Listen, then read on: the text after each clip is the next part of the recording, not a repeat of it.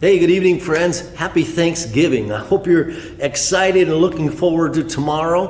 Where tonight we're going to have a, a short Bible study and a time of uh, worship together. We're going to be talking about ways to change Thanksgiving into thanks living. And, uh, and we'll get into that study in just a few minutes. First of all, we want to spend some time in praise and worship. And also, I'll be back in just a few minutes. And I love you, Lord.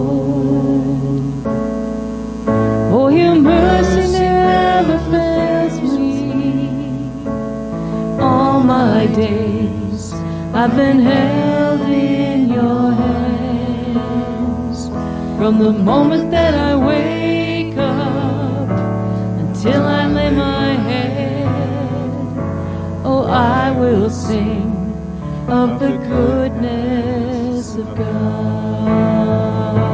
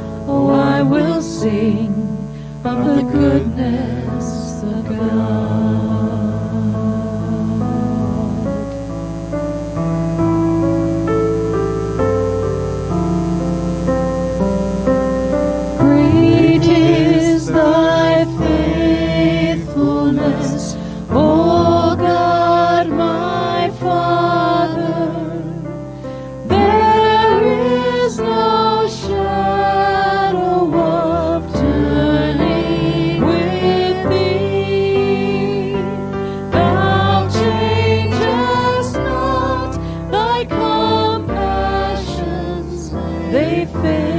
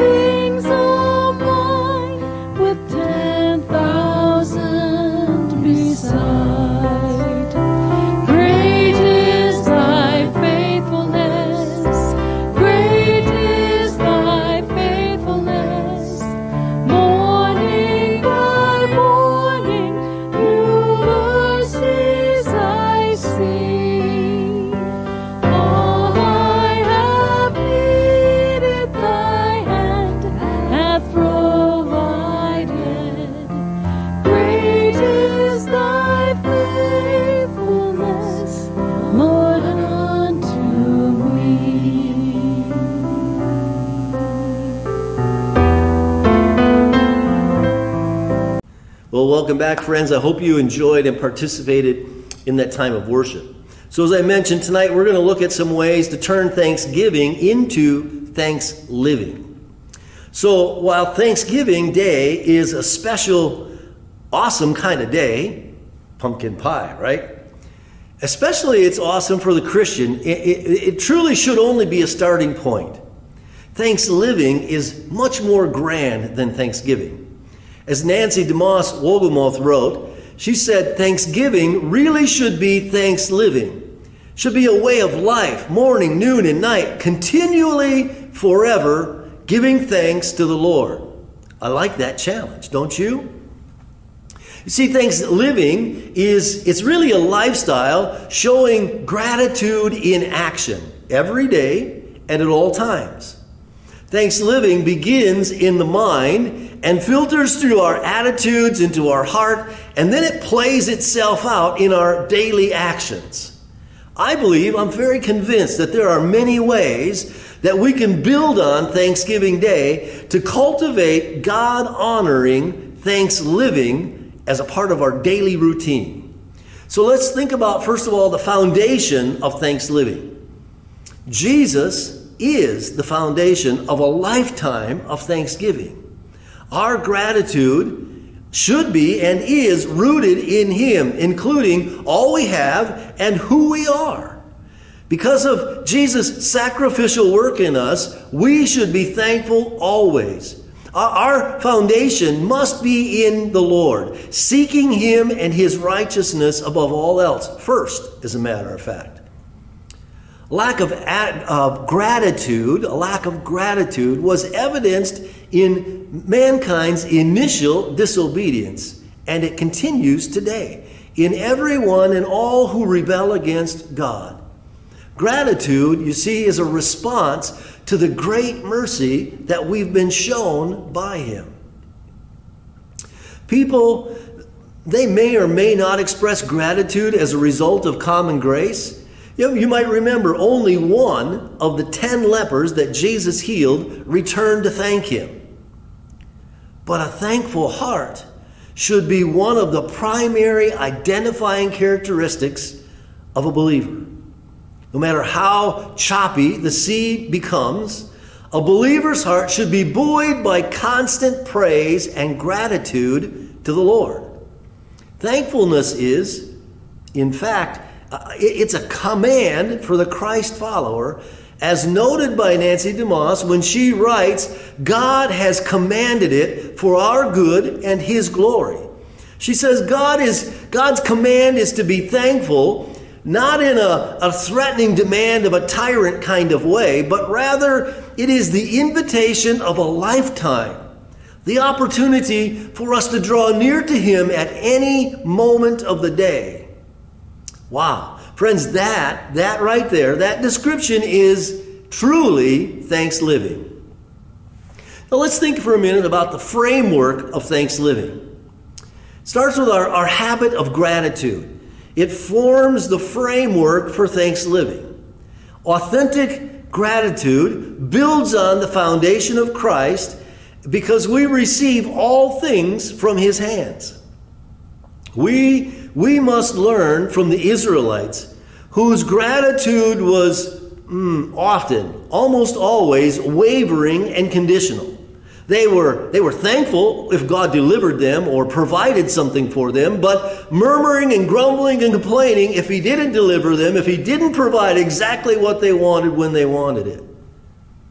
Grace, friends, on the other hand, grace teaches us to actively pursue and practice gratitude. We count our past and present blessings, and we become receptive to what God is doing in and through our lives in the present, in the here and now.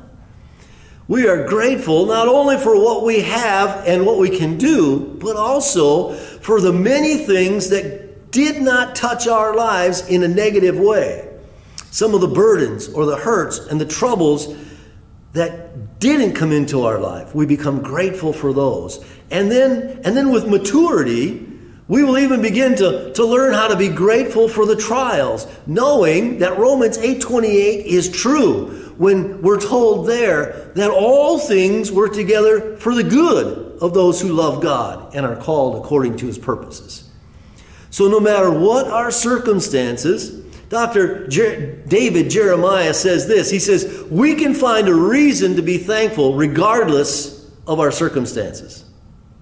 Well, Author J.I. Packer said it this way He said, The habit of celebrating the greatness and graciousness of God yields an endless flow of thankfulness, joy, and zeal. Praise be to God. And he nailed that baby right on the head.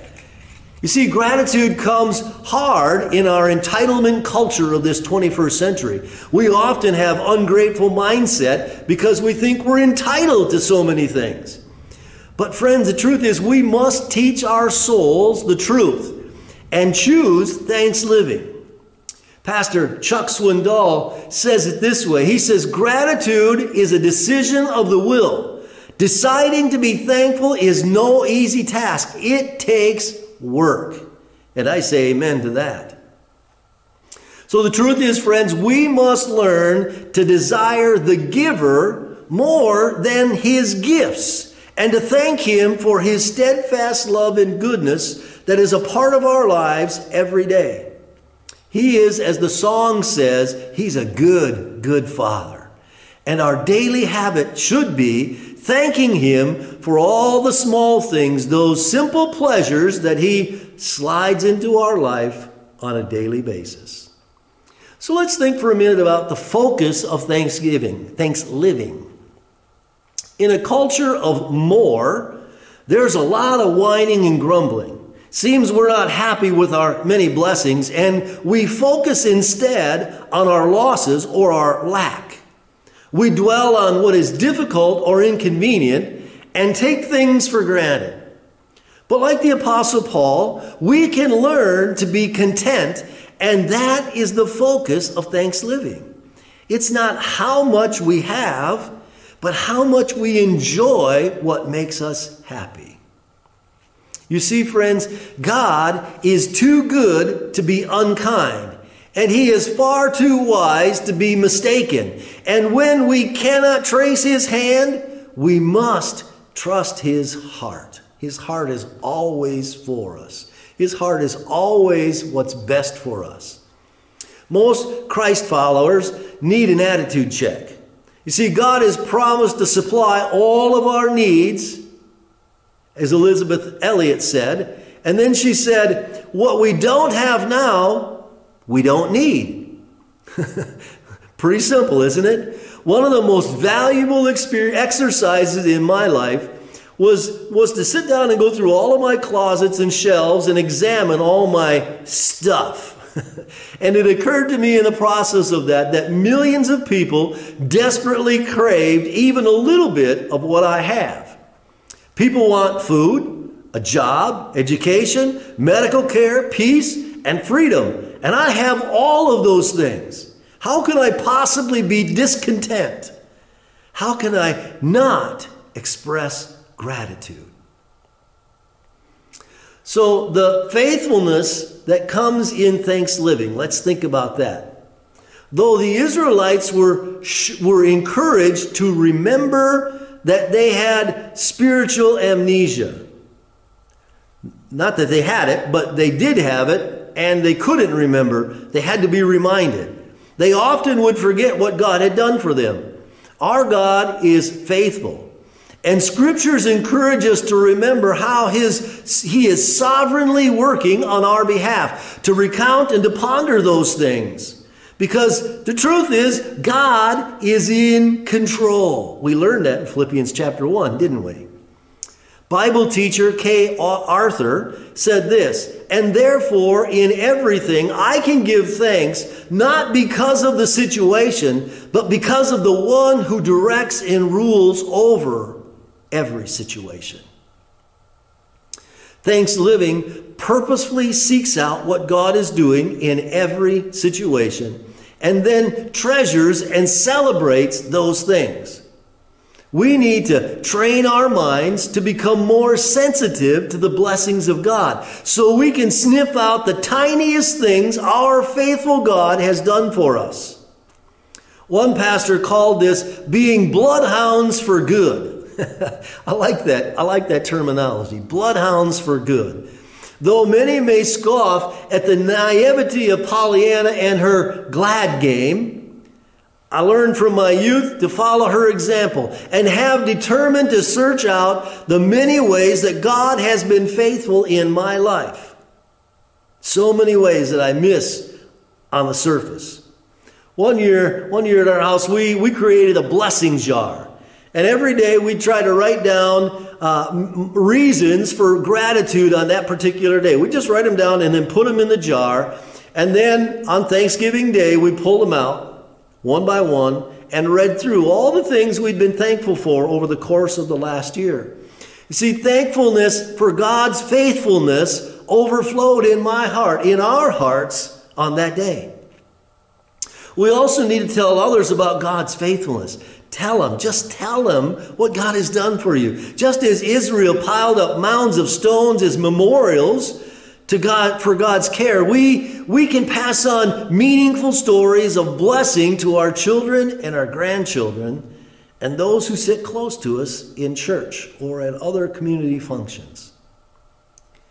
So let's think about the feeding of thanks living. Feeding thanks living.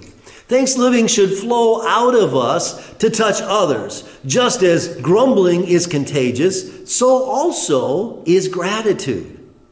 We feed or nourish others by verbalizing our appreciation and nourish their souls with positive statements.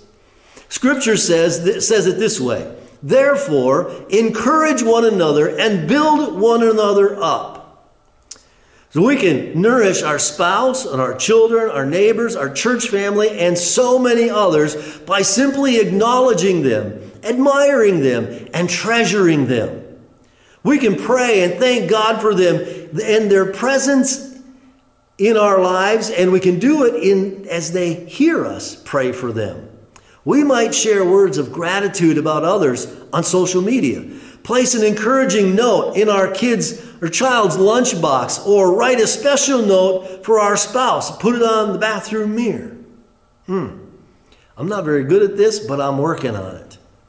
Dietrich Bonhoeffer, he said this It's only with gratitude that life becomes rich. Pastor Tim Keller takes that thought just a step further, and he says this It is one thing to be grateful, it is another to give thanks. Gratitude is what you feel. Thanksgiving is what you do. Wow. That's great. So let's think about the feasting of thanksgiving. The feasting of thanksgiving. Part of the focus of the modern day Thanksgiving Day is the feasting. I'm thinking about that turkey tomorrow already. Representing the gratitude for the abundance in our lives. Christians find their abundance in Christ because of the gospel message of redemption, and recognition of this abundance leads to thanksgiving. Let me give us just a, a bit of history here. The Lord gave Israel pictures of how they should how they should live with gratitude for God's provisions all year long. You see, there's, there's seven Old Testament feasts or festivals that were closely aligned to Israel's harvest seasons, reminding them on a regular basis of God's ongoing care. These Jewish feasts foreshadowed the coming Messiah and his ministry. The four springtime feasts point back to what Christ accomplished during his first coming and the three fall feasts point towards Christ's second coming. Isn't that interesting? I, I would encourage you, challenge you to, to take some time and do a little study on the feasts found in the Old Testament that really move forward into the New Testament as well. Jesus turned one of these feasts, the Passover celebration, into a, a very special memorial of remembrance and gratitude. We typically call that communion. In many churches today, the regular offering of the celebration of Christian communion, the Lord's Supper, sometimes we call it the table of the Lord, it encourages us to gratefully remember what Christ accomplished in redeeming us on the cross, conquering death and sin in his resurrection, and we look forward to his imminent return. We just we can't allow that to become just a religious observation, but it should always bring a, sense of overwhelming gratitude to our hearts. You see, it's it's an integral integrant ingredient. Excuse me. It's an integral ingredient of our worship to proclaim and celebrate the gospel message until Jesus comes. When Jesus said, Do this in remembrance of me, it should move us to deep gratitude for his grace and mercy and the incredible sacrifice he made so that we can know life and life abundantly. Let's think for a minute about the family and thanksgiving. Psalm 111 and verse 1 says this Praise the Lord. I will give thanks to the Lord with my whole heart in the company of the upright in the congregation. Gratitude, friends, is at the very heart of Christian community. It is always better to give thanks in the presence of others, thereby multiplying the joy. We enjoy what we have more by sharing it with others. And Christians, we're supposed to cultivate gratitude together within the family of God. It is, it is God's will that his people develop an attitude of gratitude, and this is more easily developed in an atmosphere of mutual love and accountability as we are lifting up and helping and serving our brothers and sisters as they also practice thanksgiving in the difficult seasons of life. Quite a challenge, isn't it? Now let's think about for a second the formation of thanksgiving. Sometimes thanksgiving is more easily caught than taught. When we see it in action, it's easier to learn it. The meaningful traditions of Thanksgiving Day, they're, friends, they're important to spark a lifestyle of gratitude, and they can bring bind families together. But us Christ followers, we are wise to think beyond just these traditions and really plan for a legacy of gratitude. You see, the formation of thanksgiving or thanksgiving in our families begins with daily modeling of gratitude and, and showing appreciation or speaking appreciation for people, including saying things like please and thank you and practicing common courtesies of life. We, we can train our children, our grandchildren through just the course of daily circumstances as we model for them right attitudes.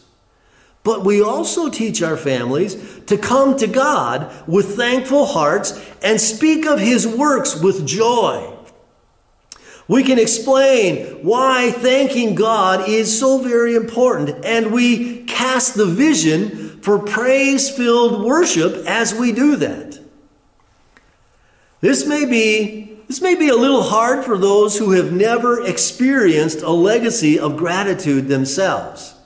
I was blessed to have a grandpa that was, man, he was so grateful all the time for what God had done in his life.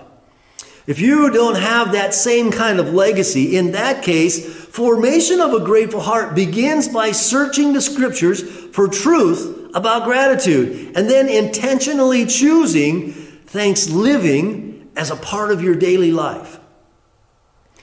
And then, number nine, the freedom in thanksgiving. You see, the word gratitude comes from the same word in the Greek language as freedom gratis equals free. Gratitude is the freeing expression of a free heart toward one who freely gave. You see, God freely gives His children life and breath, wisdom, peace, grace. He gives them their heart's desires when they delight themselves in Him, and so many other good gifts. Gratitude, it recognizes that everything we are and have has come from God. The psalmist tells us, In him we live and move and have our being. I remember when we used to sing that often at church. The beautiful truth is this, friends. While without Christ we can do nothing, in Christ we are free and can do all things because God freely gives His children all things to enjoy. And we, in turn, can freely share all those things with others. We'll wrap it up with one more thought the fruit of thanksgiving. Dr. George Bannister says this. He says, an attitude of thanksgiving bears positive, transformational fruit in the believer's life. I believe, friends, that we see this fruit in the great psalm of worship, Psalm 100. It is truly a psalm for thanksgiving.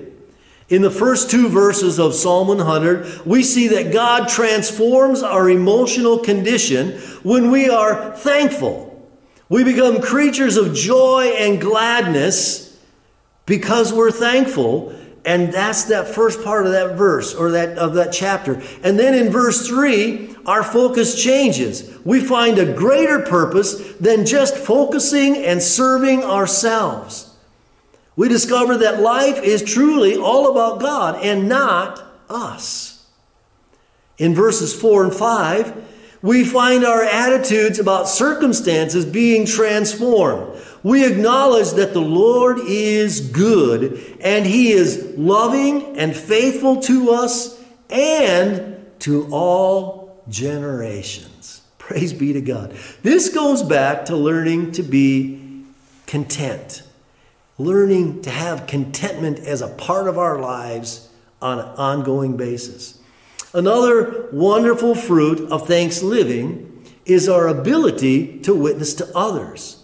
The early church, the apostles, and, and those who they were reaching with the message of Christ, that early church attracted unbelievers because of their lifestyle of thanksgiving. Scripture would tell us that they had glad and generous hearts and were praising God. And that demonstrated the power of God to transform lives. And this powerfully advanced the gospel message. Hallelujah. That's the fruit. As we live lives of thanksgiving, it demonstrates God's power in and through our lives and draws others to the kingdom. Well, we probably go a little longer than we needed to on a, on a Wednesday night before Thanksgiving. I hope that some of this connected in your heart and, and you'll pursue those things and, and with me make a more conscientious effort to live a life of thanksgiving. Let's close in prayer. Father, thank you for this night, for the truth of your word, that we can live a life of thanksgiving to honor you and to draw others to the kingdom of God. We can model it for our kids, our grandkids, for our neighbors, for our coworkers that don't know you yet. Lord, empower us by your Spirit to be people who live thanks living. Lord, I pray for, for each one, uh, each celebration of Thanksgiving tomorrow, that there can be rest and great food and great fellowship among family members and friends, that your hand will be in every situation. Thank you for your faithfulness, Lord. In Jesus' name.